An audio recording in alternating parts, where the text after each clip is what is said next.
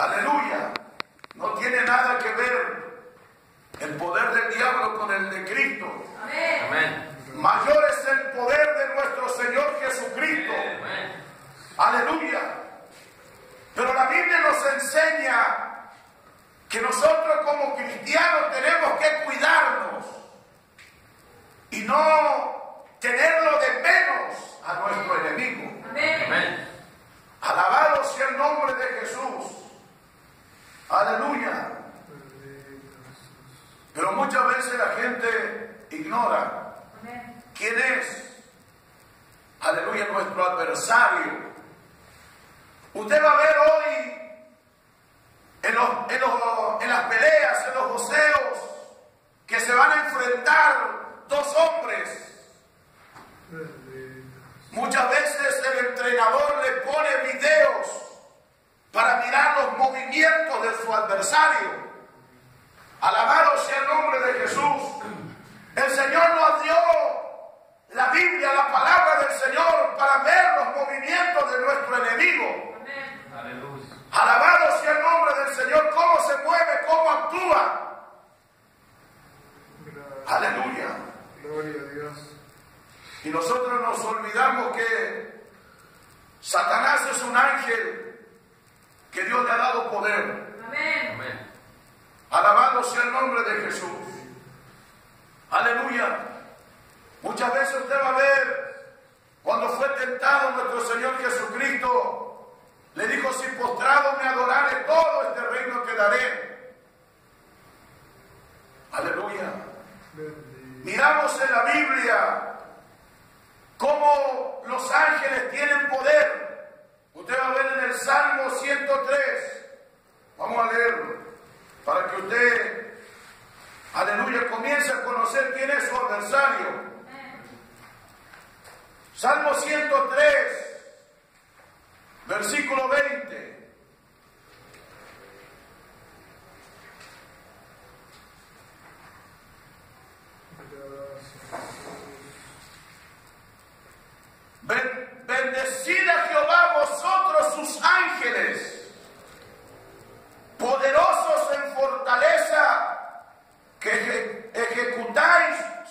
Palabra. Mira hermano, miramos y muchas veces uno ignora. Aleluya. Poderoso es el Señor. Usted va a ver en el libro Segunda de Reyes, capítulo 19, versículo 35, vemos el ángel cómo mató hombres. Alabado sea el nombre de Jesús, porque tiene poder. Dios se lo ha dado. Pero Jesucristo dio mayor poder a la iglesia. En el nombre de Jesucristo. Aleluya. El Señor ha dado poder a la iglesia. Aleluya. A través del Espíritu Santo de Dios. El cristiano tiene que buscar la llanura del Espíritu Santo para estar revestido de poder, para poder enfrentar al diablo. Alabado sea el nombre de Jesús. Porque un cristiano sin Espíritu Santo estamos a la deriva. Alabado sea el nombre de Jesús.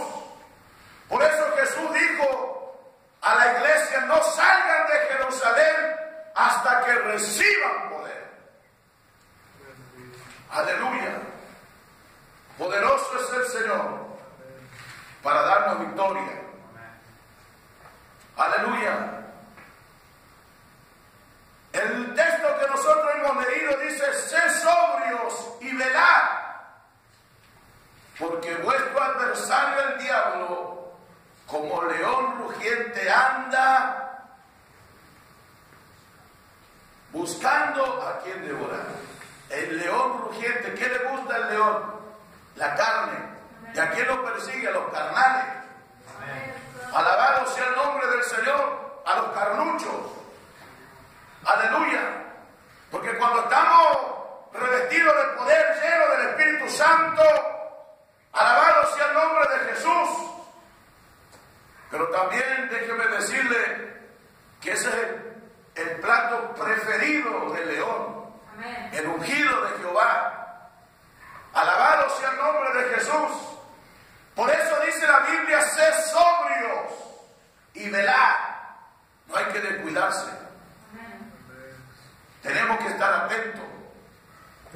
Sobrio quiere decir, aleluya, tener dominio propio. Porque cuando aquellos que tienen dominio propio, el diablo le cuesta. Pero tenemos que ser llenos del Espíritu Santo, porque es un don del Espíritu Santo, el dominio propio. Aleluya. Porque la Biblia dice que hemos recibido el, aleluya, el amor, poder y dominio propio. Que eso lo da el Espíritu Santo de Dios. Alabado sea el nombre de Jesús. Por ahí va el cristiano caminando y se le cruzó una mujer de minifalda. Y el cristiano que tiene dominio propio mira hacia adelante y se le cruzó y no se da vuelta de vuelta. Porque el que no tiene dominio propio hace esto, pasa a la mujer y le sigue mirando, le sigue viendo. Alabado sea el nombre de Jesús. Pero el que tiene dominio propio no le lleva como el diablo quiere. Alabado sea el nombre de Jesús. Aleluya. El que tiene dominio propio, alabado sea el nombre del Señor, se para firme. Y el diablo le busca por toda la manera y la forma para hacerlo caer en pecado. Aleluya. Porque el diablo tiene poder sobre la gente que está en pecado. Porque el diablo le hace pecar y entra el enemigo y hace desastre, tanto en el hogar, en el matrimonio,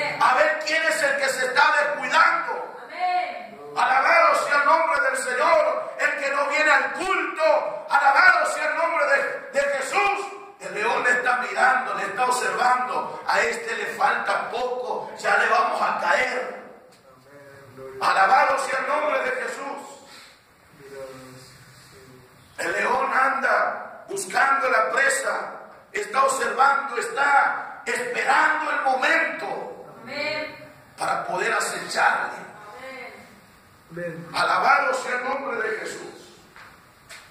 Por eso usted va a ver cristianos que estaban en la iglesia, que predicaban, que eran fervientes en el espíritu y comenzaron a descuidarse y el diablo los comenzó a mirar, los comenzó a observar, aleluya. Y eso es lo que tiene el cazador, que es paciente, esperando el momento para arremeter.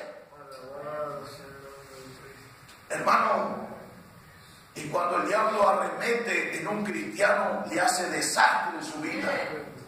Usted va a ver cristiano, aleluya, que el diablo los devoró. Por cuanto se han descuidado.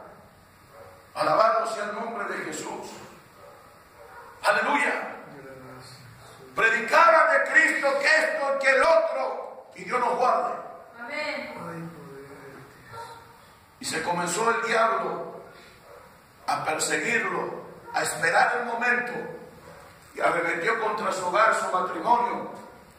El diablo le llevó a la mujer con otro hombre, él también, y así desastre la familia, hermano.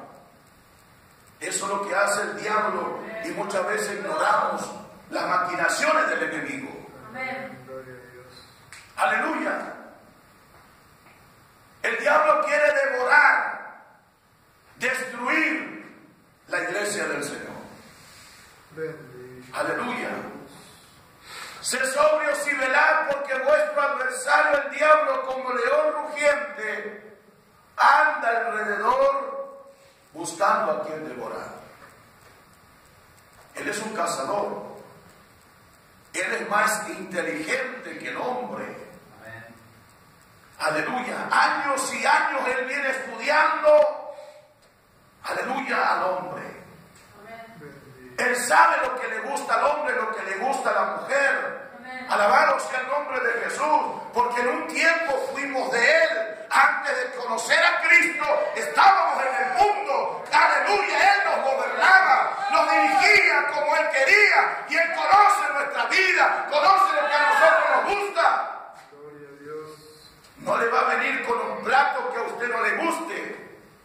Le va a venir con una bandeja deliciosa para que usted lo pueda comer.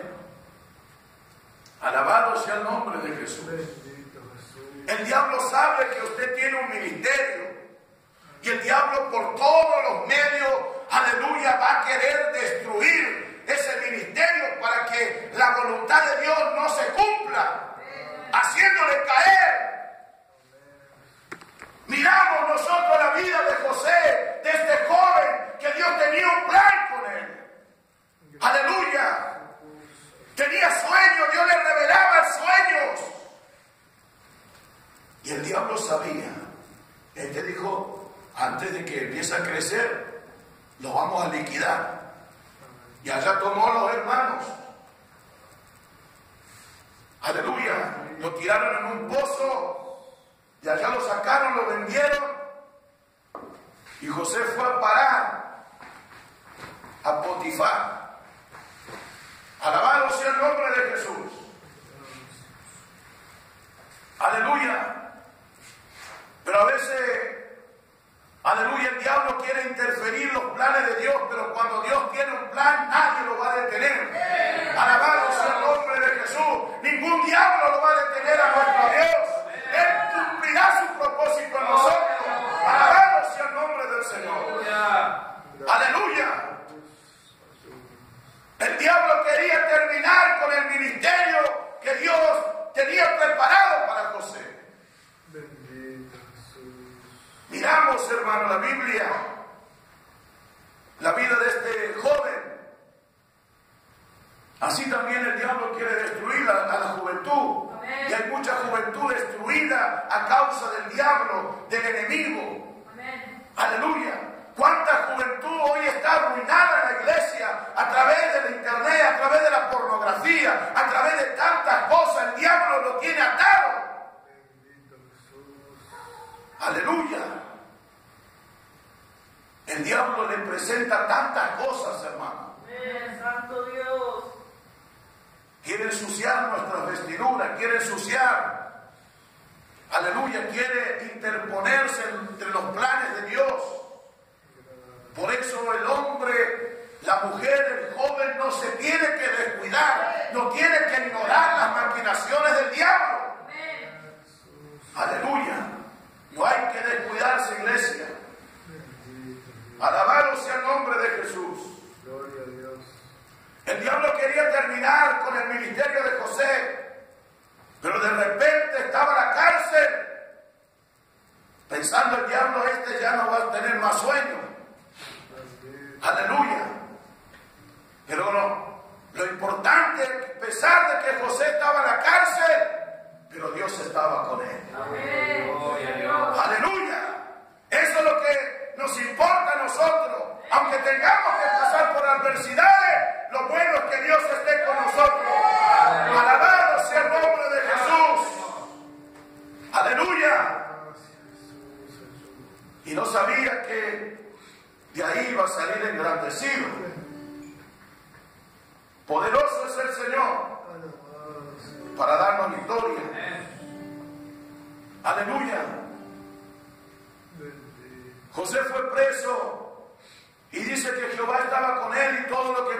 cárcel era prosperado. Aleluya. Y seguía teniendo sueño. Ahí le contó el copero, el panadero, un sueño y José se lo interpretaba. Y un día tuvo un sueño. Aleluya. Y ahí se acordó el copero de que en la cárcel había un joven llamado José que le interpretaba el sueño. Y allá lo mandaron a buscar, lo afectaron, lo bañaron, le dieron ropa y el Señor comenzó a engrandecerlo. Aleluya. Porque no hay nada, ni aunque el diablo se levante, no va a detener la obra. Aleluya, lo que Dios ha comenzado, Dios lo va a terminar. Alabado sea el nombre de Jesús. Aleluya. Poderoso es el Señor para darnos victoria. José fue. Aleluya. Pero ¿sabe por qué Dios estaba con José? Porque José tenía dominio propio. Usted va a ver cuando la mujer de Potifar lo acosaba. Aleluya, quería estar con él. Y él dice que huyó. El apóstol